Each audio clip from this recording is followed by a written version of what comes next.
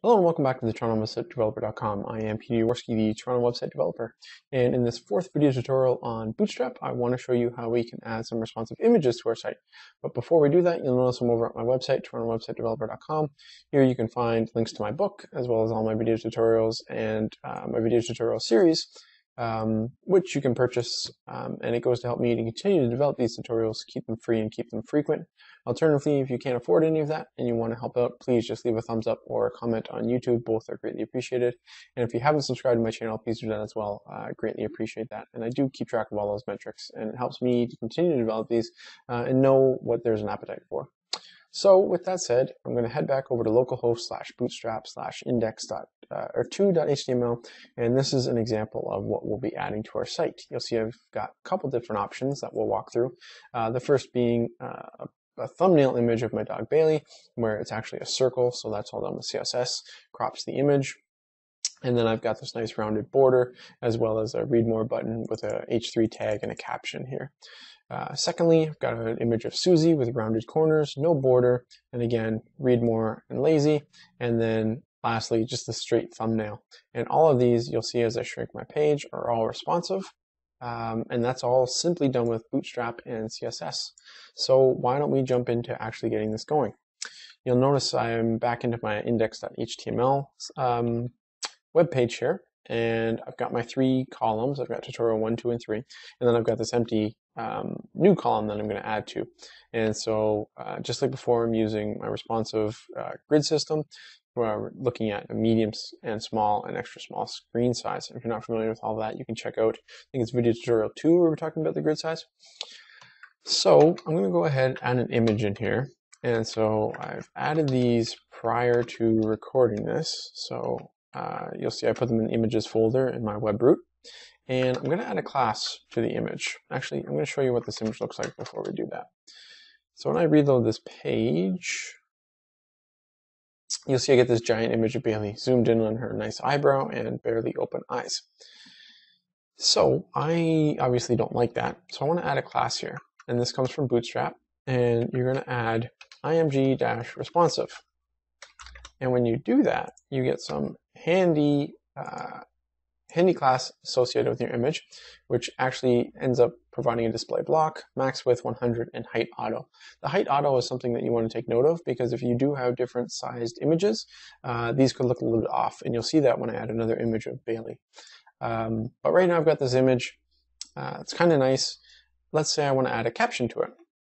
I can do that by going ahead and adding a p tag and or rather a div and class is equal to it's called caption.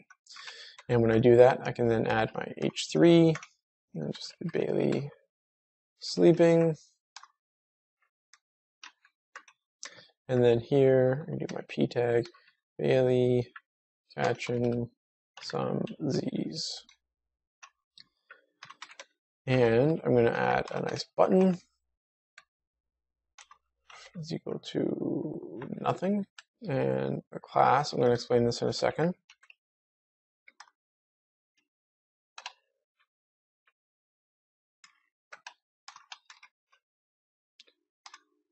Slash A, slash P. Let's close up our divs. And let's take a look at what this looks like. So now we've got this thumbnail image of Bailey. Nice H3, got a nice caption, have the ability to read more, which doesn't actually take me anywhere. And if I start scaling this in, you'll see that the image responds to that. Um, and so it will be sized appropriately depending upon the device we're looking at. And if I wanted to add another one, I could obviously do that. And so I can paste this down below. And let's change this up so we're not using the same image. Let's just do Bailey, was it sleeping? Bailey grass. Image responsive, and doesn't matter, we'll keep the same information. So now we have two images, and here's what I'm talking about where they have different heights. So you'll see that both are using height auto, and so they're a little bit off. Um, but let's say that we want to add a circular image to that. So knowing that Bootstrap has image responsive, um, it also has, and I don't know if this will work right on here, but it has image circle. And so now when we go ahead and we reload this, you can see we get the circle right away. We're applying both to the same image. And up here, if we didn't want this guy, let's copy this, add Susie to the mix.